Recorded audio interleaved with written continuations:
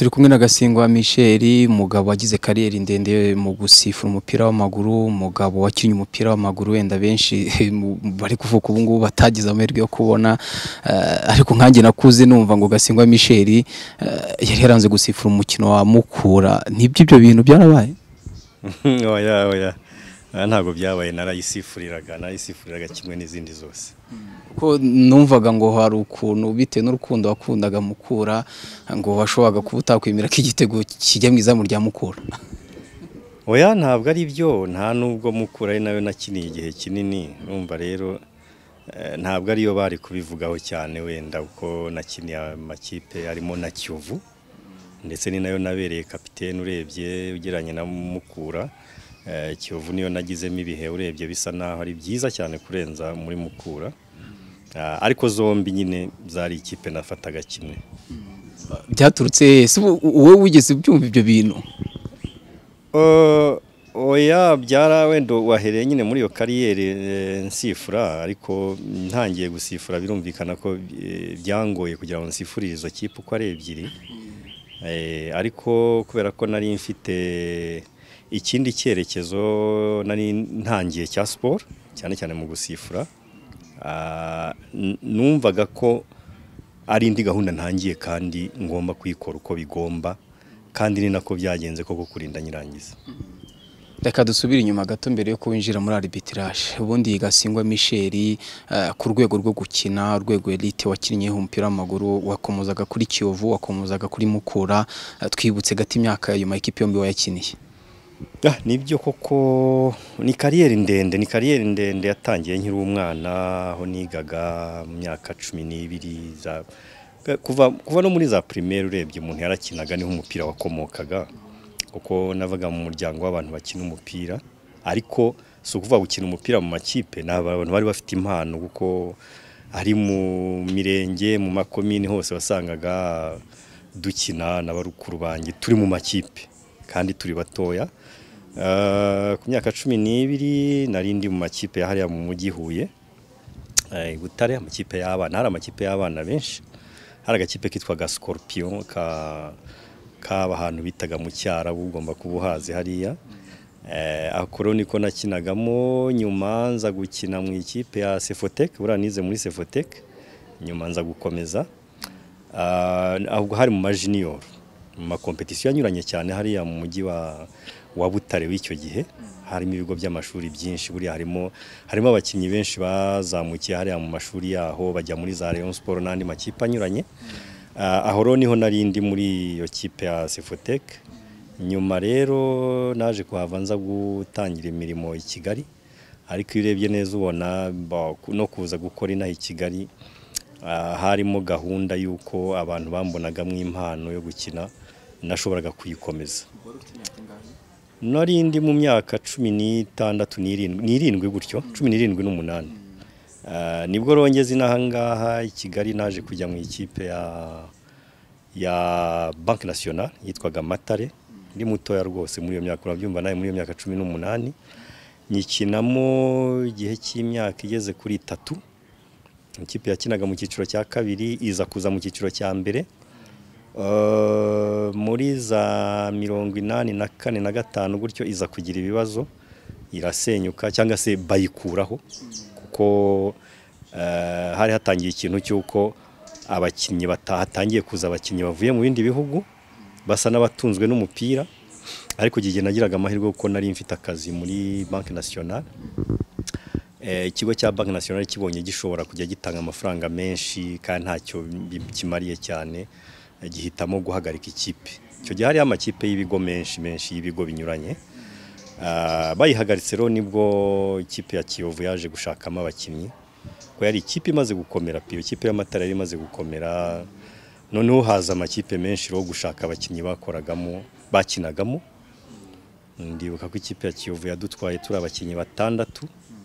Eh, ku mafaranga rekiritoma zari zaratangiye icyo gihe baturekirise buri muntu ibihumbi ijana ijana. By'icyo gihe hari muri mirongo inani na gatanu ndakeka. Ibihumbi ijana ari menshi cyane.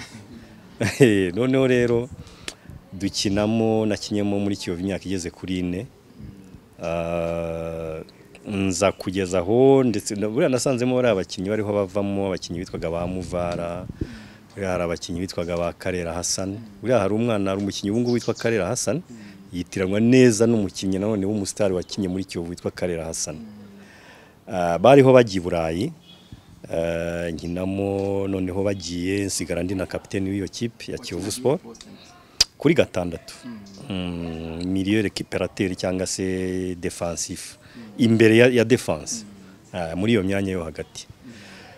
Noneho rero ubwo naje kugeza aho nsigara ndi na kapiteni wayo hafi imyaka ibiri ariko biza kugeza ubwo muri mirongo inani n'icyenda gutyo tutumvikana neza eh, bitewe na hari haje umwuka utari mwiza mu ikipe. Twari dufite n'abakinnyi b'abanyamahanga benshi bava hanze. Eh, ntitwumvikane n'umutoza neza mu bijyanye n'ikipe nyine. Ibyo byo ni ibibazo by'imbere mu ikipe bibaho hose. Biba ngombwa rero ko eh, mvamo njya mu ikipe ya Mukura ni bwo nageze mu ikipe ya Mukura muri mirongo inani n'icyenda. Nabwo kuri rekiritoma ibihumbi magana atatu mirongo itanu icyo gihe ni ho byari bigeze kuko nari ndi mu bakinnyi urebye ba- ba- baguraga amafaranga rwose menshi icyo gihe. Ariko nkomeza ikipe ya Mukura twumvikana ko nzayikinira mba i Kigali kuko nari mfite akazi muri Nationale ko ntabwo nashoboraga guhindura sinashakaga kuba nareka akazi ngo njye mu ikipe kuko icyo gihe ntabwo amaprime y'icyo gihe yashoboraga gutunga umuntu ngo ubone ubuzima buhagije. Iyo wabaga uri umukinnyi eh, ufite yenda warize ufite ibyo ushoboye gukora eh, byaguheshaga akazi keza. Yani cyari cyo cya mbere. Naho amaprime yo yari hasi cyane eh, ntabwo navuga ko hari ikintu umuntu yabonaga mu ko ari ugukinira ishyaka nta Eh, naje rero guhagarika mu ikipe ya Mukura ubwo ndetse ni na yo yatwaye igikombe cya nyuma cya gatanu Nyakanga igikombe cyakinwe muri mirongo cyenda numva bitaga trofe Habyarimana ni cyo cya nyuma cyakiniwe. Ah, muri iyo kipe yagitwaye ubwo nari ndimo n'abakinnyi nka ba Runu yabangira uwo nsanga ba Rutayisire hari abakinnyi benshi bari abasitari icyo gihe. Noneho rero ubwo kubera ko eh, u Rwanda rwari rutangiye ibihe bya bihe by'intambara ah, kuva muri mirongo cyenda kugera mirongo cyenda na kane eh, ntabwo imikino yari yifashe neza twanyuzagamo tugakina ubundi bigahagarara gutyo. Kuza kugeza rero muri mirongo icyenda na kane aho RPF yari imaze gufata igihugu Eh, nyuma rero ni bwo twongeye gusubukura ibintu by'imikino ariko urebye ko ibintu byari bimeze icyo gihe n'imyaka nari ntangiye kugezamo makumyabiri n'icyenda gutyo eh, naje guhitamo guhindura icyerekezo. Bitewe n'iki? Bari abasifuzi benshi icyo gihe bari baragiye bapfa mu- muri jenoside eh, abandi barahunga baragenda. Noneho igihugu gishaka gutangiza imikino nta basifuzi bahari. Icyo gihe abasifuzi bake bari bahari bari bavuye za Burundi aba bitwa ba Roni ba Gaspard n'abandi Eh, nibo byari ngombwa ko batangiza imikino ariko ari bake cyane nabo. Federasiyo ishaka kongera kwiyubaka Eh, aho rero ni ho naje guhindura icyerekezo mpitamo kujya mu busifuzi. Ya imyaka makumyabiri n'icyenda nsatira mirongo itatu gutyo. Ya ntabwo ari icyemezo kiba cyoroshye iyo uri umukinnyi kuba umusifuzi ntabwo ari icyemezo kiba cyoroshye. Ya, ariko rero naho nahereye nyine ntangira kuba umusifuzi. Ikintu cyatumye cyane cyane mfata icyo cyemezo ni ni uko nta sinakundaga ibintu kurenganywa. Cyane cyane iyo uri umukinnyi eh, kuko twahura hari igihe twahuraga n'ibyo bibazo ugasanga ntiwishimiye wenda ibyemezo by'umusifuzi ukumva imbaraga watanze zose zipfuye ubusa wenda kubera ikosa rye cyangwa se kwibeshya. Ah, rero byatumye ko hari hari hari guhitamo kubiri. Hari kuba umusifuzi cyangwa se kuba umutoza byarashobokaga byose cyangwa gukomeza gukina. Mpitamo kuba umusifuzi kuko numvaga nanjye nifuza kuba narenganura abandi. Ko sinifuzaga ko n'ubu ngubu ntabwo nifuza ko umuntu yarenganya undi. Eh, imbaraga umuntu aba yarakoresheje ategura umukino ugasanga yenda umusifuzi azikubye na zeru kubera icyemezo kimwe ashobora gufata kigahindura ibintu byose. Ariko kandi birashoboka igihe umuntu yibeshye bishobora kugenda gutyo. Rero twawuti twahuguwe nande? Hari umugabo buriya witwa Kanamugira Loizi uriya buriya ni umutoza yabaye umukinnyi yaba umutoza umutoza w'abatoza. Yari azi n'amategeko yari azi n'amategeko eh, yo gusifura. Afatanya na ba basifuzi bavuye i Burundi ari abasifuzi bari mu byiciro bya kabiri baraduhugura urumva byari ibihe bidasanzwe nyine. Urumva iyo mihugurire nyine ntiyari ihagije ariko byari ibihe bidasanzwe. Baraduhugura icyumweru kimwe gusa duhita dutangira gusifura icyiciro cya mbere. Ubundi ntabwo bibaho. Ariko niko byagenze mbo n'amakipe yose yari akiyubaka mbo nta mateleviziyo yabagaho icyo gihe ngo abantu barareba imipira i uko bigenda reka da. Dutangira gutyo. Yewe rero nza gufashwa cyane nuko nakinaga umupira byinshi nabaga mbizi. Eh, cyane cyane amakosa abera mu kibuga iyo umuntu akinnye umupira wiyentegara vuba cyangwa se winjiramo vuba kurenza umuntu utarakinnye umupira. Ah, ikindi cyamfashije cyane nuko abantu bangiriraga icyizere ko bari basanzwe banzi mu kibuga. Eh, bakavuga bati uyu nguyu ni umuntu dusanzwe tuzi wabaye umukinnyi. Ah, byaramfashije cyane rero ntangira kariyeri ntyo kugeza nyi- nyisoje. Ah, Mishe muri iyo myaka yose wakinnye ubwo ndavuga muri Kiyovu ndavuga muri Mukura Victory Sport equipe nationale byari bihagaze gute mu Rwanda? Uratubwira no kuri wowe niba urigeze kubona amahirwe yo kuyijyamo Ah, ni byo koko ikipe nationale sinavuga ko yabagaho neza. Ah, ikipe nationale yakunze kubaho ku bufatanye bwa federasiyo y'ubudage na minisiteri ya siporo kuko buri gihe abadage nibo boherezaga umutoza kenshi boherezaga umutoza akaza mu rwego rwa kooperasiyo cyangwa se rwo gufasha. Hari igihe nasanze hari umutoza witwaga fikert yaje no gukomeza kujya gutoza mu bihugu bya za Bangladesh n'ahandi. Ubu ngubu ashobora kuba yarashaje ntabwo sinzi aho aherereye. Eh, ni we rero wagerageza gushyiraho ikipe nationale Na- nawe yaje ayisanga ariko si ukuvuga ngo ni we wayishyizeho yaje ayisanga. Icyo gihe rero mbyiruka nkiri mu matare nkiri mu matare mvamo nenda kujya muri kiyovu ni bwo natangiye kugira za selekisiyo za mbere cyangwa se eh, gutoranywa. Kenshi kubera ko nari nkiri mutoya hariho abakinnyi ba- bakomeye nanone icyo gihe. Eh, narazaga nkajyamo kumwe bafata abakinnyi nka mirongo itatu ariko mu gihe cy'umukino bakazasigarana abakinnyi nka cumi n'umunani tukavamo twabaga turi batoya birumvikana. Ah, naje kugira selekisiyo nke cya- nke cyane zigeze nko kuri eshanu ku mikino ya gicuti nabwo yabaga ibera hano mu gihugu. Ah, ubundi mpagarika kariyeri igihe numvaga ko ari bwo bishoboka ko eh, nshobora kubonamo umwanya mu ikipe y'igihugu wo gukina. Ah, ndavuga rero ko ni, ni, ntago nagize ibihe bigaragara muri equipe nationale. Eh, naho ubundi ikipe nationale barayihamagaraga ikajya kwitoreza i Nyanza ahantu hitwa Ikavumu uriya Ikavumu hari ikigo cya Ministeri ya Sport n'umuco. Eh, ni cyo ikipe yitorezagamo hariya za Nyanza. Igakina imikino ariko imikino yari mike cyane icyo gihe nta mikino myinshi yari iriho. Navuga rero ko nta- bihe navuga nagize byiza cyane muri equipe nationale uvuye muri kariyeri yo gukina winjiye muri arbitrage nk'uko wabivugaga nta terambere rikomeye ryari mu gihugu cy'u Rwanda. Ah, murahuguwe icyumweru kimwe utangiye gusifura mu cyiciro cya mbere.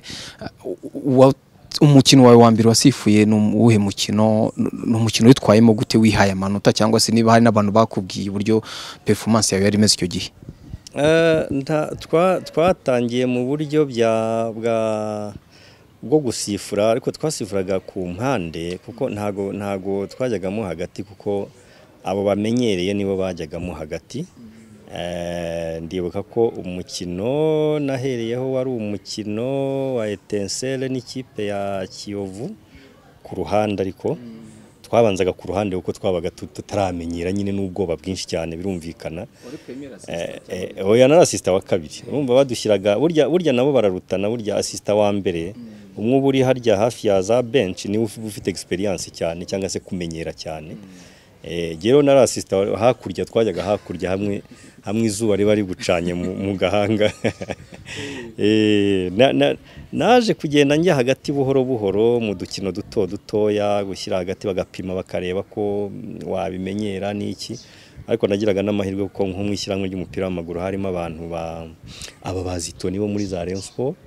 Eh ari umunyamabanga mukuru habanje uwitwa uwo bakunze kwita Mevese wo muri Mukura sinzi niba muzi.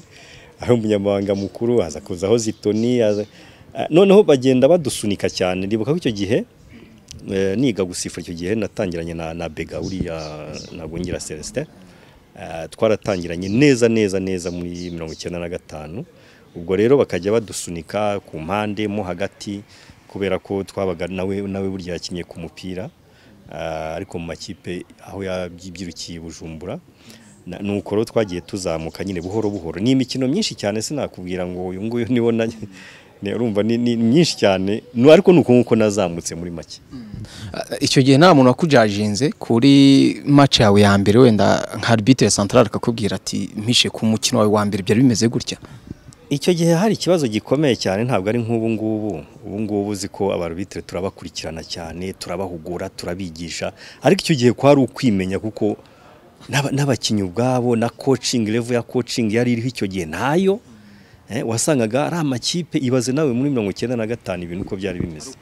Eh, bya- byari ukwiyaranja ntawe wabonaga kubwira ngo wakoze neza hano hariya wibeshye nta kamera nta nta kintu na kimwe na kimwe navuga twagendeyeho. Eh, ari na yo mpamvu nyine nyuma bizaza bizaza kuvamo ko eh, experience twagiye dukuramo ari yadufashije cyane kugira ngo twubake eh, abasifuzi bariho ubu ngubu ndetse n'abandi baritayarinze muri iyi myaka ishize. Eh, tukaba twarabagizeho uruhare rukomeye cyane kuko ndibuka ko nka nyuma y'imyaka itatu ine dusifura kubera ko bari batuzi dukina byabaye ngombwa natwe ko dutangira kwigisha abandi kandi eh, tugisifura. No kubakurikirana mu mikino aba ba- bitwa ba hudu bariya bakunda kwita banzenze ba isa ba kabanda abandi abo bose ba- baje nyuma y'imyaka nk'ibiri itatu ariko ugasanga ni twebwe nitwe n'ubundi babazwa nitwe tubakurikirana nitwe kandi turi imbere yabo natwe turi abasifuzi. Kubera ko nta wakugiraga inama nta kintu na kimwe twabonaga. Wari utangiye kariyeri nshya yo gusifura umupira w'amaguru warahoze uwukina nk'uko wabivugaga wabigarutseho byose nta terambere ryari rihari ko ari ukwiranja. Uh, uko ugenda wiyentegera umunsi ku munsi ni iki cyagiye kigufasha guhabwa iyo confiance yo kujya hagati noneho? Waje kujya kuba bite centrale gute? Eh, icyo gihe ku rwego ku rwego mpuzamahanga ahubwo hari no hari no gusifura mu gihugu no kuzaba umusifuzi mpuzamahanga ubwo byose birajyana. Ariko mu gihugu twasifuye byabaga ari byose wakoraga byose. Uyu munsi ukaba wajya hagati umukino ukurikiyeho ukajya ku ruhande byari bikivangavanze. Nyuma ariko tuzabona ko mu myaka guhera nko muri za bibiri gutyo eh, no ku rwego rwa FIFA na CAF bari bamaze gushyiramo za option cyangwa se kwisipesiyaliza eda ku ruhande cyangwa se hagati. Iyo umusifuzi abaye mpuzamahanga kuba mpuzamahanga ujya hagati cyangwa se ukaba uri ku ruhande. Burya niko byaje kumera. Ariko mu gihugu niyo wabaga uri mpuzamahanga wo hagati washoboraga gusifura ku ruhande. Bitewe na ni- ni- n'icyo babaga bakeneye mu gihugu iwanyu. Nyuma ariko twaje gutuma bihinduka kuko twabonaga twe bidutera ibibazo Eh, tuza muri za bibiri gutyo tuza gusaba ko federasiyo ko abasifuzi bo ku ruhande baba bo ku ruhande bo hagati bakaba bo hagati. Eh, naho jyeweho nahise bahise ba- ba- banyerekeza hagati navuga ko ntakoze ku ruhande igihe kinini kubera ko babonaga wenda mfite mfite ubwo bushobozi wenda bwo gusifura hagati abo twakoranaga cyangwa se abari badushinzwe eh, bahise banyerekeza hagati ntangira hagati. Navuga ko ntagize ibihe byinshi ku ruhande ni nk'umwaka umwe cyangwa ibiri.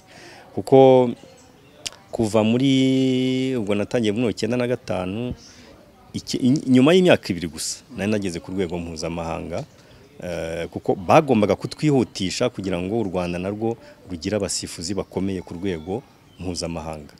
Eh, twari twatangiye kubagira kuri mirongo icyenda na gatandatu nyuma y'umwaka umwe ba bandi benshi batwigishaga baturutse hirya no hino bazi gusifura ba- binjiye kuri lisite y'abasifuzi mpuzamahanga. Ah, muri mirongo icyenda- na karindwi baza guhanamo abantu babiri. Eh, bari basifuye umupira ugenda nabi mu Misiri. Eh, harimo abitwa ba Rugira Leonce Rugira Leonce yari n'umusirikare icyo gihe. Eh, kafi iza kubahagarika ibahagaritse rero bituma haboneka imyanya kuko burya buri gihugu kigenerwa imyanya runaka kitarenza ku rwego mpuzamahanga. Habonetse imyanya rero ni bwo Ferwafa yahise ivuga iti reka dushyiremo Michel na Abega. Uriya Celestin twinjiramo dutyo. Dusangamo witwa Nkubito n'abitwa ba Roni ba Gaspard n'abandi. Twinjiramo dutyo kuri liste mpuzamahanga byihuse cyane ubundi kuko nta kuntu nyuma y'imyaka ibiri ubundi wahita uba umusifuzi mpuzamahanga ariko byarihuse cyane kandi baravuga bati muzabishobora nimujyeho nimujyeho twinjiraho dutyo rero kuva muri mirongo icyenda na karindwi kugeza aho naje guhagarika muri bibiri na cumi. Ndi kuri urwo rwego mpuzamahanga. Ubwo niba mbyumva neza federasiyo y'umupira w'amaguru mu gihugu niyo igena ikurikije performance y'umusifuzi ko wowe uvuye muri kategori yo kuba lokal ukaba mpuzamahanga. Yego niko bigenda. Buri mwaka burya kuba umusifuzi mpuzamahanga ni ibya buri mwaka. Biterwa n'iki? Eh, ibihugu biba bifite kota cyakora ku isi nta gihugu kirenza icumi bo hagati n'icumi bo ku ruhande. Eh, buriya biriya bihugu ubona bikomeye byose ubwongereza hehe ubudage icumi bo hagati icumi bo ku ruhande. Twebwe rero mu- muri afurika kota kenshi ziri kuri batanu bo hagati wenda na barindwi bo ku ruhande cyangwa batandatu ni aho ngaho turi. Mwebwe rero mu gihugu abo ni ukuvuga buri mwaka umusifuzi ashobora no kuva avanwa kuri lisite agashyirwaho undi biterwa n'uburyo yitwara mu gihugu muri uwo mwaka muri iyo sezo irangiye yitwaye ate mu mikino inyuranye? Noneho ni- n'ikindi cya cya fitinesi hari amatesite burya dukoresha abasifuzi. Iyo ibyo byombi ubyujuje eh, buri mwaka nyine igihugu gihitamo abo batanu bo hagati nk'ubu twe dufite batanu bo hagati n'abarindwi bo ku ruhande. Ni ibintu bya buri mwaka ntabwo ari ikintu umuntu abona ngo burundu oya. Kuko iyo witwaye nabi igihugu kigukuraho. Ni igihugu kigushyiraho ariko ukemezwa na FIFA ariko ari igihugu cyagushyizeho njye rero nagize amahirwe nguma kuri kuri urwo rutonde kuzageza eh, mpagaritse. Umukino wa mbere ukomeye wawe wasifuye uri hagati n'uwe Eh, uravuga hehe hano cyangwa imbere mu gihugu ni igihe nari ntangiye gusifura umukino uhuza APR na Rayon Sport. Kuva ndumva nara- naratangiye umukino kuva muri mirongo cyenda n'icyenda gutyo. Eh, ni bwo ni bwo natangiye kugirirwa icyizere cyo gusifura uwo mukino kuko eh, ni umukino wundi eh, utarapfaga kujyaho n'uwo ari we wese ariko niko bigenda muri buri gihugu burya haba hari amakipe abiri ahanganye. Ntabwo rero hose ku isi niko bimera. Muri buri gihugu haba harimo ayo makipe abiri aho rero ntabwo wavuga ko ari ahantu upfa gushyira umusifuzi uwo ari we wese. Hari ibintu byinshi birebwa eh, kugira ngo umuntu umusifuzi abe yahabwa imikino nk'uwo. Uwo rero uwo mukino naje kuwusifura imyaka myinshi myinshi myinshi myinshi. Imyaka ishobora kuba igera kuri irindwi nta wundi muntu uwusifura Ah, nyuma hagenda hazamo abandi gutyo gutyo. Navuga rero ko niwo mukino wagoraga ukagora mu mutwe eh, kuva bawugushyiraho byaragoranaga cyane ko muri iriya myaka ya mbere abantu bari bataramenya ibintu by'amategeko. Abantu bari bataramenya amategeko nta mateleviziyo yari ahari abantu bose bumvaga imisifurire uko babyumva mu mutwe wabo. Ah, rero navuga ko ari ari mu gihugu navuga ko ari wo mukino wakomeze kundemerera cyane. Sinakubwira ngo nu- n'uwo mwaka uyu n'uyu. Buri gihe niko byabaga bimeze. Ya kuri ne bakikunoma ko ari wowe uri busifure mu mutima ukure tunatubwira uwundi musifuzi iyo agiye gusifura match ikomeye eh, ategura ate umunsi wawe uba uteye ute Bo ubu ngubu icyo gihe cya mbere icyo gihe cya mbere byabaga bigoye kuko nta nama twabonaga twa- twariyaranjaga bimwe byo kwiyaranja ukabifata uko ubyumva. Ariko ubu ngubu tugira n'amasomo twigisha abasifuzi ni gute umuntu ategura umukino ese iyo wahuye n'umukino uremereye wo manager ba- abasifuzi b'ubu ngubu bagira imana kuko bagira amahirwe kuko twe turi abarimu ubu ngubu b'abasifuzi kandi twanabinyuzemo igihe kinini cyane tugira uko tubategura. Ariko tw'icyo gihe nyine bagushyiragaho basohora urupapuro ko ari ndetse hari n'igihe hari n'igihe twanageragezaga kukwepa imikino nk'iyo ngiyo ariko rimwe na rimwe ntibidukundire. Ubundi uka- ukawutegura mu mutwe uko ubyumva birumvikana ko nka kanjye iyo nabaga ngomba gusifura uwo mukino eh, nkwibutse ko nari nkikora nari nkikora handi muri banki ku- narangiza gukina nasifura ni ho nari nkikora. Ariko ntihaburaga ubwo iyo byabaga byamaze gusohoka ko ari njye nzasifura benshi babaga banabizi. Ariko simbura abantu bansanga mu kazi bakandisitabinga turabizi ni we uzasifura. Nari nararenze nari nararenze urwego rwo kuba corrupted cyangwa eh, kuba ko bari bamaze kumenya. Eh, burya buri muntu aba afite uko ateye bari bamaze kumenya ko ntacyo bashobora gukora. Ariko byageze aho ngaho noneho hakazamo n'iterabwoba eh, nusifura bizagenda gutya nabi. Twumvise abantu bavuga ko bazakwica bazagutega bazagutera bazagira gute kugira ngo barebe ko nawuvaho. Ariko kubera ko ari ibintu nakoraga narabyiyemeje nyine nkavuga nti narababwiraga nti abo mubabwire bantegereze ku kibuga. Nimara gusifura ibyo bashaka gukora babikore. Eh, byageze aho rero abantu baramenya bamenya uh, uko nteye n'iki bigera aho ngaho babivaho. Eh, rero imyitegurire yo nta yindi ni ni uko iyo ufite umukino nk'uwo nguwo eh, bisaba disipurine cya mbere cyo bisaba kutagenda mu bantu cyane. Iyo ushaka kuba umusifuzi mwiza ntugenda mu bantu cyane nta kuntu waba ufite umukino nk'uwo ngo ujye mu bantu kuko abantu ntumenya ni ab'iyi kipe ni ab'iriya Eh, bigasaba gukora akazi kawe ugataha ukitoza eh, cyane cyane kwitegura fitness kuko imikino nk'iri irihuta cyane bisaba umusifuzi ko aba hafi. Ubundi ukigiriramo icyizere ubwawe.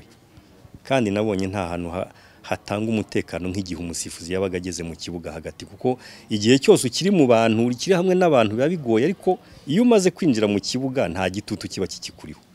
Eh, buri wese ragira uko awutegura. Ariko njye nuko nawuteguraga. Ibindi we- iyo ninjiraga mu kibuga sinabaga nzi ibyemezo ndi bufate ibyo ari byo nta ntawe umenya ibyemezo ari bufate ibindi ugafashwa na nyagasani. Kuko hari igihe ufata icyemezo ugasigara ugitekerezaho cyane kiga- kigatuma wanangiza match mu, mu bisigaye. Umukino mpuzamahanga ukomeye wawe wa mbere wabaye uwuhe? Uwa mbere ndasifuye muri mirongo icyenda na karindwi wari ikipe yo muri Kenya ya, Leopard FC Leopard n'ikipe yo muri Ethiopia yitwa Kofi yo muri Ethiopia. Wabereye i Nairobi kuri iriya stade nyayo. Eh, uwo niwo mukino wa mbere nari nkoze mu bikombe bya Afurika ariko sinavuga ko wandemereye cyane nagize imana ugenda neza hari muri mirongo icyenda na karindwi icyo gihe. Ya, ndi kumwe na nabo basista nakubwiraga ntagungira Celestin ndetse na Nkubito.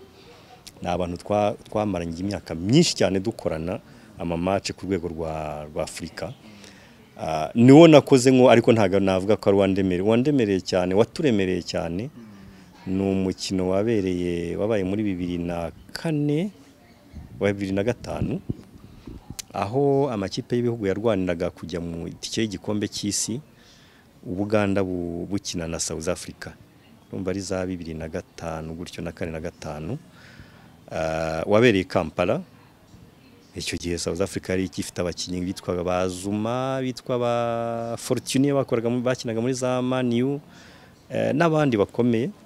Eh, ubuganda ubwo bari mu itsinda rimwe bahatanira tike eh, yo kujya mu gikombe cy'isi. Ariko impa- impamvu watugoye cyane ni uko muri iyo myaka eh, u Rwanda rwari rugifitanye ibibazo na muri icyo gihe umukino wabayemo u Rwanda rwari rufitanye ibibazo n'Ubuganda mu- muri Kongo Eh, za Kisangani ngira ngo abakurikira amateka mwigeze kumva ibyagiye biba muri iyo myaka yashize. Eh, tubona appointment cyangwa se kafi twohereza muri uwo mukino Eh, ibaze rero nawe icyo gihe kugira ngo twinjire muri Kampala bavuga bati abasifuzi bavuye mu Rwanda. Eh, n'umwuka utari umeze neza tuvuge tuvuge ni nko muri iki gihe. Siko mu minsi yashize mbere yuko habaho amasezerano ejo bundi ya ah, y'ibihugu byombi ko byakongera gusubiranya imibanire myiza. Eh, uzi ko umwuka utari umeze nabi abanyarwanda bajya i Buganda bagafatwa nabi gutyo. Ibaze rero noneho nk'ubu ngubu kugira ngo abasifuzi bacu bajyeyo aba ari ikibazo gikomeye. Twagiye icyo gihe bimeze bityo ariko abayobozi ba federasiyo icyo gihe icyo gihe federasiyo yayoborwaga na Kayizari eh, Siza eh, n'abitwa ba Celestin Musabyimana n'abandi bati nimugende nta kibazo mukora umupira uko mugomba kuwukora. Turagenda icyo gihe turasifura. Ibyago byanjye rero sinavuga ko ari ibyago ariko byaje kuvamo byiza. South Africa yatsinze igitego kimwe cya penalty. Eh, cya penalty ku ikosa bari bakorewe. Ntangamo penalty ariko nkimara gusifura iyo penalty naravuze nti se tuzava hano kuri iki kibuga? Ko cyari cyuzuye stade yari yuzuye n'abantu bahagaze hasi. Tuzava hano kuri iki kibuga kubona ubuganda bugiye gutsindirwa hano? Ariko nyine nta kundi byari kugenda akazi ni akazi barayiteye penalty ijyamo umupira urangira ari kimwe zero. Eh, icyo gihe ndibuka ko twamaze kuri stade amasaha ageze kuri atatu. Abashinzwe sekirite bavuga bati ntabwo twabasohora kuko abantu benshi baracyari hanze ya stade baracyari mu muhanda. Hari ambuteyaje hari ntuza ntabwo imodoka zihuta. Ah, bashobora kubabonamo mu modoka bakaba bayiterura imodoka tuguma muri stade amasaha ageze kuri atatu tuza kuvamo nijoro badutwara kuri hoteli. Ndetse ubwo baratwita imyenda y'abasifuzi muyikuremo.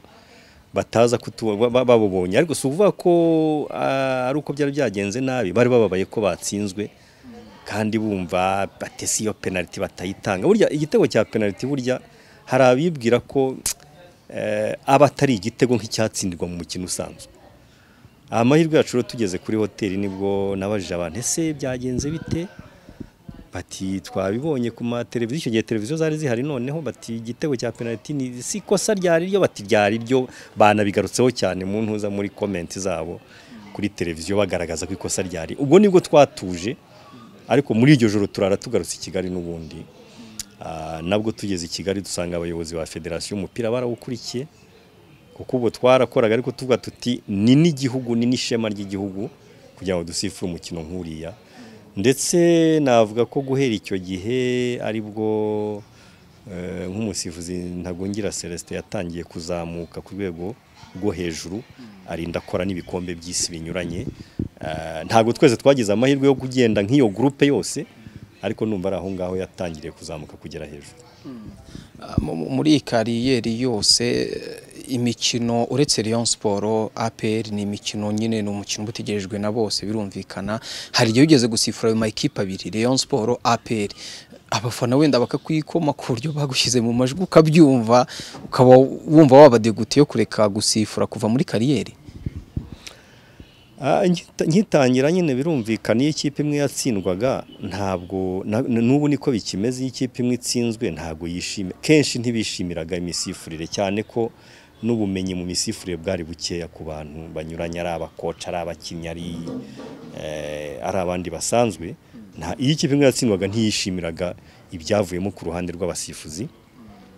Ariko byageze aho tumaze kugira experience cyane usanga bizera bageze aho ngaho bizera ibyo ibyo dusifura kuko icya mbere cyo babonaga tudashobora kuba corrupted ibyo bari baramaze kubimenya ko nta kintu cyo ku ruhande dushobora gufata cyaduhungabanya mu misifurire noneho bagakina bashyize umutima hamwe bakavuga bati turakina bigenda uko byakagenze. Eh, ntabwo rero navuga ko ari hari igihe nyine nigeze nta icyizere cyo gu- gusa gusa icyo navuga ko ni umukino ni umukino rimwe na rimwe waduteraga ubwoba kuko abantu babaga bataramenya neza ibijyanye n'amategeko ari abayobozi b'ayo makipe ari abafana ari iki ukagira impungenge ko hari igihe ushobora gusohoka mu kibuga eh, ubuzima bwawe bakaba babuhungabanya. Ah, ariko rero sinzi ukuntu byikoze turavuga reka tugume muri iyi kariyeri twarayitangiye ariko icyo gihe tukaba twagendaga tuninjira ku rwego mpuzamahanga tubona imikino myinshi inyuranye. Twagaruka mu gihugu tukagongana n'uwo mukino birumvikana. Bati ni wowe ugomba kuwusifura uko byagenda. Ndibuka ko hari n'igihe bigeze guhindura gahunda y'umukino kubera ko ntashoboraga kuboneka icyo gihe. Ah, bawupanze mbabwira ko ntahari ntashobora kuwubona. Nari nifitiye izindi gahunda mu rugo z'iminsi mikuru n'ibindi. Eh, bara- bara- barawimura gatoya bagushyira ku yandi masaha kugira ngo kuko nabo ndabyumva kuri management ya uburyo bajera imisifurire mu gihugu. Kujera imisifurire ntabwo ari ibintu byoroshye. Eh, nabo nta yandi mahitamo bararebaga bakavuga bati nitudakoresha bano basifuzi yenda bishobora kuba ibibazo yenda tubakoresheje niyo bakwibeshya nibo dufite wenda bari ku rwego rwo hejuru. Eh, rero ntiwaburaga gutera uwo mukino ntiwaburaga kudutera ubwoba icyo gihe. Ah, sinzi ubu ngubu wenda mu mutima w'abasifuzi uko bimeze. Ariko navuga ko nanone ni umukino utafata nk'indi isanzwe ya shampiyona. Ako kantu rero ntabwo kabura ariko ntabwo giye byigeze binca intege ngo numve nahagarika gusifura kubera uwo mukino.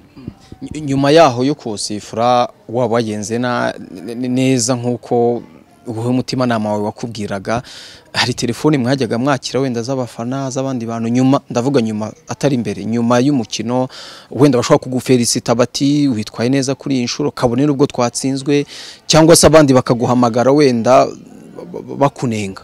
Nibyo rwose wagira ngo urabizi ahari kuko iyo iyo puresha ntabwo yaburaga ntabwo yaburaga hara- hari bamwe mu ba- mu bayobozi b'ayo makipe banyuranye rwose baduhamagara pe bakaguhamagara mu- tukakamagara tukavugana ati wansobanurira wenda icyemezo wafashe aha n'aha uko cyari kimeze uko ndibuka ndibuka umuntu rimwe rwose yigeze kumpamagara. Eh, aho aho ikipe imwe muri izo siniriwe nyivuga yatsinzwe bateye koroneri eh, kumwe abakinnyi bakaraga umupira. Umukinnyi arawukaraga ariko ubwo yari koroneri iri iruhande rw'iburyo noneho iterwa n'umukinnyi uteza indyo. Icyo gihe rero iyo awukaraze unyura hejuru ukanyura inyuma. Unyura inyuma ugaruka mu kibuga ngira ngo abazi iby'umupira barabyumva. Ushobora gukaraga umupira ukagenda umeze nk'umuheto. Unyura inyuma mu kirere ugaruka mu kibuga bawutsinda n'umutwe. Ariko icyo gihe umupira ukizamuka umusifuzi wo ku ruhande yahise ashyira igitambaro cye hejuru. Umwanya wo kubona icyo gitambaro no gusifura igitego kiba cyagezemo. Eh, ibaze rero byari zeru zeru icyo ni igitego cyari kibonetse bati bishoboka bite ko umupira ushobora kurenga uri mu kirere?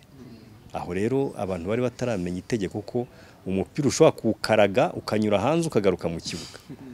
Ibyo rwose nyuma ya match umupira waje kurangira iyo kipe yari itsinze icyo gitego yaje gutsindwa kimwe. Noneho rero bakabara bati icyo gitego cyacu banze cyari igitego cyari igitego.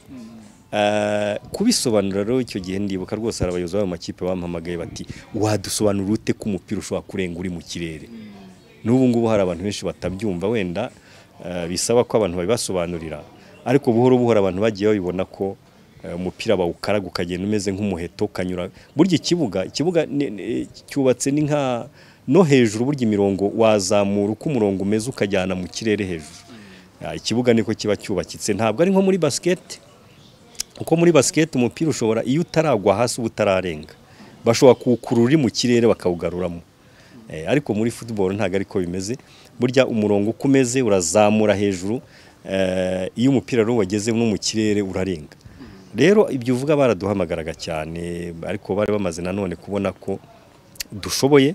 Bakaguhamagara mukavugana eh, abandi ba- birumvikana bakadutuka bakagira gute ariko ntabwo byaducaga intege twarakomezaga.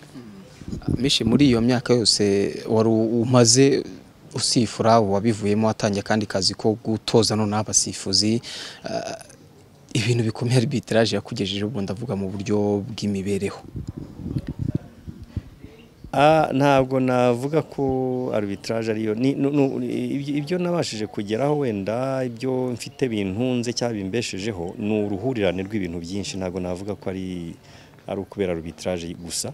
Ariko nanone ngereranyije igihe nakinaga n'igihe nasifuraga navuga ko mu busifuzi ni ho ni ho nageze kuri byinshi kurenza igihe nakinaga. Ko igihe nakinaga nta maprime hariho amaprime make cyane mato cyane uko ndibuka nkiri muri Kiyovu hari igihe twigeze gutsinda Rayon Sport. Ah, muri mirongo inani n'umunani ndakeka. Match yari yabaye ku itariki ya mirongo itatu na rimwe z'ukwa cumi na kabiri. Urumva muri iryo joro ari ubunani. Match ya shampiyona. Kiyovu itsinda Rayon Sport kimwe ku busa kuko ni n'igitego gena natsinze nta nta nta- nta kwibagirwa. Buri mukinnyi yatanye ibihumbi icumi. Ibyo rero byari akayabo kuko kugira ngo wenda ubyumve ni uko wafata ko nk'umukinnyi nk'umu- nk'umuntu wabaga arangije universite muri arangije lisansi muri universite mu hazero yabaga akorera ibihumbi nka cumi na bitanu gutyo eh, ku kwezi. Urumva rero ikigereranyo uko cyabaga kimeze. Eh, prime ya entraînement eh, yabaga ari amafaranga ijana batwandikiraga ijana kuva gukora entraînement imwe. Bakakwandikira buri kwezi noneho bakazaguha aya entraînement nta, mishahara yabagaho nk'ubu ngubu. Ah, rero navuga ko urumva ko mu gukina nta mafaranga cyane. Nakubwiye za recruitment cyangwa se amafaranga umuntu yabonaga ibihumbi ijana magana abiri gutyo kugira ngo uve mu ikipe ujye mu yindi. Eh, ariko ntangiye ntangiye gusifura. Iyo ugiye mbo gusifura hano mu gihugu ntacyo twabonaga kuko twabonaga ibihumbi nka bitanu prime y'ibihumbi nka bitanu ko wasifuye umukino bakazagenda bateranya imikino wasifuye bakaguha ayo mafaranga. Ariko imi ahari avantage ndetse n'ubu ngubu ni ku rwego iyo ugiye gusifura ku rwego mpuzamahanga iyo wagize imana ukajya kuri liste y'abasifuzi mpuzamahanga iyo ugiye gusifura hanze ubona amafaranga menshi. Igihe cyacu twabonaga amadolari nka magana arindwi yari prime y'amadolari magana arindwi bakwishyuriye itike y'indege hoteli yishyuye iminsi uzamarayo ine itanu watembereye wasifuye ugatahana amadolari magana arindwi. Urumva yabaga ari menshi. Ubu ngubu prime y'abasifuzi mu- mu mikino mpuzamahanga bavuye aha bakajya nko gusifura umukino wa CAF mu maklabu za Nairobi za aho wajya hose muri Afurika ni amafaranga igihumbi na magana abiri na mirongo itanu. Amadolari ntabwo ari amafaranga. Amadolari igihumbi na magana abiri mirongo ni amafaranga menshi miliyoni irenga.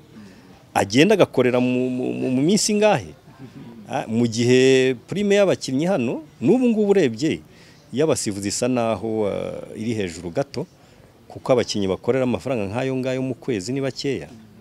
Ah, umusifuzi rero ugize amahirwe yo kubona imikino myinshi ku rwego rwa Afurika simvuze simvuze ibi byo kujya gusifura nk'irushanwa ryabereye mu gihugu kimwe nk'ibi baru bagiye bajyamo za Sekafase za ba Abdul under 17 under 20 za CAF uho bamwandikira ku munsi.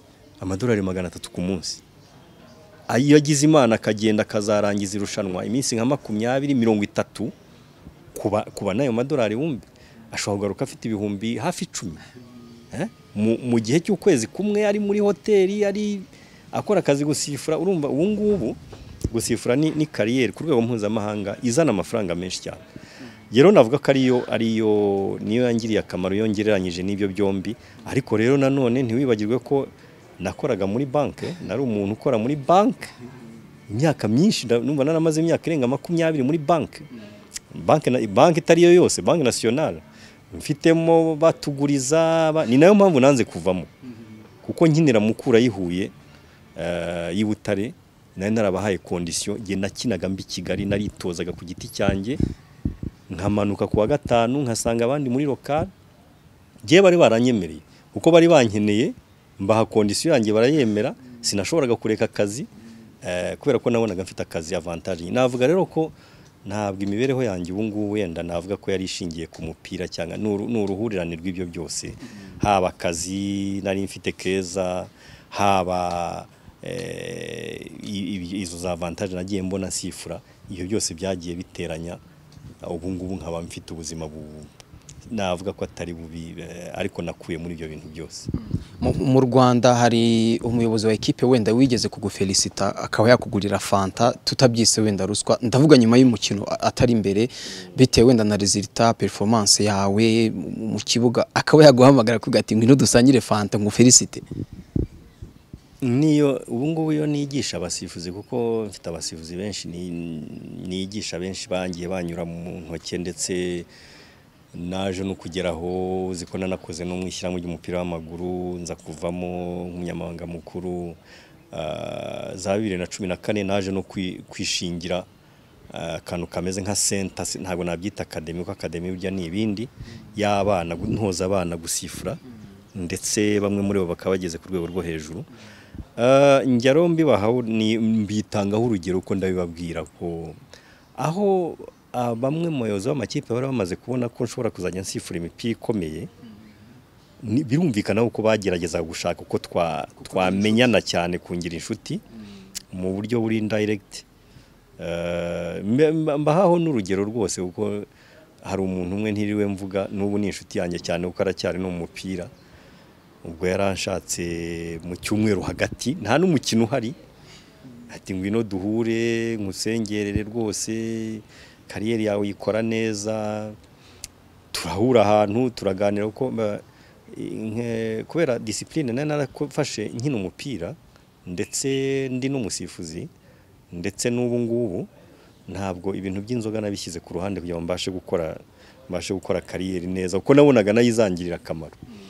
Turagenda ngurira fanta turasangira turaganira bisanzwe n'iki ntashye noneho ampereza mverope ati ntabwo twabashije kurya akantu ariko uraza kwigurira akantu Eh, hari muri mirongo cyenda nako bibiri hari nko muri mirongo icyenda n'icyenda n'umunani. Maze imyaka nk'ine nsifura ntangiye kujya nkora ya mamaca akomeye ndataha ngeze muhira nsanga harimo ibihumbi makumyabiri. Ah, ndayafata rwose ndayakoresha ariko ntangira gutekereza nyuma ni bwo naje kubona eh, icyari kiri inyuma yabyo. Icyari kiri inyuma yabyo kuko corruption cyangwa se uburyo abayobozi bashobora bafite amakipe bashobora gukoresha eh, bushobora kuba direct kuri match cyangwa se bukaba nyuma mu zindi avantage ushobora kubona nyuma. Iyo rero utari umusifuzi uciye ubwenge ngo umenye ibyo byose ushobora kugwa mu mitego nk'iyo ngiyo kuko iyo mbigisha ni mba- mbaha urwo rugero. Kuko nahise mbona ibyo ari byo mbona icyari kigamijwe. Ya amafaranga narayakoresheje birumvikana ariko nyuma eh, nza kugenda biza kubasha kundinda byinshi muri ibyo ngibyo bigana bigana muri urwo rwego. Eh, bikaba ari ibintu byamfashije cyane. Ibyo rero ba- warumbaje barabigerageje nyine bagendaga babigerageza muri ubwo buryo. Ariko ntago batinze kubona ko kubona inzira twe turimo kuko buriya abantu bayobora amakipe baba bazi abasifuzi. Barabamenya bose barabagerageza. Iyo rero hari ubahaye uburyo bafatira aho ngaho nyine Ah, rero urwo rugero rwambayeho nk'uko babivugaga ariko rwabaye urwa mbere n'urwa nyuma mfata icyerekezo runaka kandi rwatumye byatumye ngira kariyeri nziza mu misifurire. Mishe ku- kugira ngo ube corrupted birumvikana rimwe na rimwe harimo hazamo ikibazo cy'ubushobozi akazi kawe wenda niyo gusifura gusa niko kazi kagutunze cyo ni cyaba challenge ukaba uri umusifuzi gusa nta kandi kazi ufite abantu wenda bakaba babona aho bahera bagu, ah, bagukorompa. Ibyo ni byo koko ko kimwe mu bibazo dufite kuri uyu munsi cyangwa se igihe nasanzemo aho ngarukiye mu misifurire eh, icyo ngicyo kirimo. Prime z'abasifuzi cyangwa se ibyo abasifuzi bagenerwa ntabwo byazamutse cyane. Ntabwo byazamutse cyane biracyari hasi. Bigatuma rero noneho kandi eh, kuba nta kazi gahari kenshi kariho ku rubyiruko ndavuga kubona akazi kereka urubyiruko rushoboye gu- gukereya cyangwa se guhimba imi- imi- imirimo Eh, kuba nta kazi kenshi kariho ngiye gushaka akazi aha bampaye akazi aha bituma eh, abasifuzi benshi bagenda binjiramo bumva ko bagomba gutungwa n'imisifurire Eh, bahura rero n'amaprime akiri mato eh, ndetse n'amafaranga nta- ntavuga ko atinda kuza. Eh, wenda ushobora no kubimbaza utese we kuri muri ferwafa ukora iki kugira ngo bigende. Ayo maprime atinda kuza ibi byose bigashobora gutuma abasifuzi bamwe na bamwe bafite umutima woroshye bashobora kugwa mu mitego nk'iyo ngiyo. Ah, icyo rero ni ikibazo kiriho dufite ubu ngubu. Nubwo tu- twigisha uko dushoboye n'iki byose ariko hari ibyo nanone tugomba gukora tugomba abasifuzi kugira ngo tubakure mu mitego nk'iyo ngiyo. Misha aka kanya ni byo umukino wa APR na Rayon Sport ni umukino uba ukomeye ni umukino uba witezweho na benshi. Aka kanya dufite abashobora kuwumanaginga neza magingo aya. Nibyo ni byo dufite icyizere kuko uyu mukino ntabwo navuga ko kiri umukino wo mu myaka ya za bibiri mirongo icyenda n'umunani bibiri na kabiri na gatatu na kane. Ubu hari ibintu byinshi byahindutse abantu bamenye amategeko abakinnyi barayazi amategeko abafana benshi bazi amategeko y'ibanze. Twebwe rero dufite abasifuzi benshi bashobora kumanaginga cyangwa se kuwujera. Mpereye nko ku basifuzi mpuzamahanga. Dufite abasifuzi batanu mpuzamahanga b'abagabo tukagira ndetse babiri b'abakobwa. Eh, umwe amaze no kumenyera cyane ajya no mu bikombe by'isi. Dufite abasifuzi nka batandatu ndetse ndetse na- n'abataragera ku rwego mpuzamahanga harimo abasifuzi nka babiri batatu bashobora kumanaginga uno mukino. Ah, tubahitamo rero dukurikije muri icyo gihe abasifuzi dufite eh, uburyo reputasiyo cyangwa se uburyo ba- bahagaze muri icyo gihe. Eh, burya iyo dupanga abasifuzi tureba kuri uwo mukino niba umusifuzi tugiye gushyiraho nta kibazo aheruka kugirana n'ayo makipe. Ni ukuvuga ikibazo ikibazo ni ikihe? Si ukuvuga ko ari ikosa yaba yarakozemo ariko hari igihe ashobora gusifura umukino hakafata n'icyemezo kiri nyacyo ariko ugasanga abantu benshi ntibakivugaho rumwe giteye ibibazo hirya hino mu mitwe y'abantu. Umwe n'uwo ntabwo tumugaruraho uwo mwanya dushyiraho abo- muri abo bandi eh, akazagarukaho hashize igihe nanone ni uko nguko ni uko nguko eh, management ya refaring ikorwa ndibuka nk'ejo bundi hari abantu ba- bibazaga bati ese ko tubona uyu mukino bawushyizeho umukobwa kandi tubona hari abasifuzi bandi mpuzamahanga batawugiyeho? Burya ni izo fagiteri cyangwa se ni ibyo ngibyo tugenderaho kugira ngo tuzane uyu musifuzi turekuriye ariko muri iki gihe hari benshi bashobora gusifura rwose uriya mukino. Cyane ko aya makipe atagifite n'abakinnyi nk'aba kera. Aricyo nashaka no kugarukaho cyane. Kera zabaga zifite abakinnyi b'abanyamahanga bakomeye cyane. Uribuka bambuye utwite uribuka ba bokungu uribuka. Abakinnyi babaga bari muri za Rayon Sport bavuye za Tanzania n'ahandi. Eh, byabaga rero bigoranye cyane. Ariko ubu ngubu se ni abakinnyi bacu b'abarokare nta ntabwo wavuga ko bigiteye ikibazo cyane ubu ngubu.